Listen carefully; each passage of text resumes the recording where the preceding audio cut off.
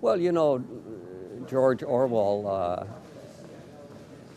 had seen a lot of uh, the ills of the last century. He went to fight with the uh, Republicans in Spain, was wounded, nearly killed, and he discovered that uh, his allies, the Republicans, were just as bad as the fascists, you know, and uh, so he became very disillusioned with uh, movements.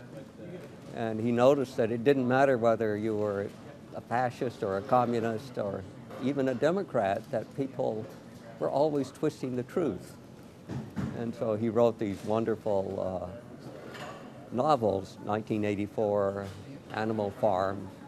Animal Farm is particularly nice. You know, it started with, you know, all animals are equal, and then it ended up with all animals are equal, but some are more equal than others. And, uh, you know, if you look at what's happening in the climate change business, there's very similar distortion. Uh, you know, one of the most famous distortions that George Orwell described was the rewriting of history. That was uh, done all the time in his novels. And of course, he had noticed it being done in his own experience.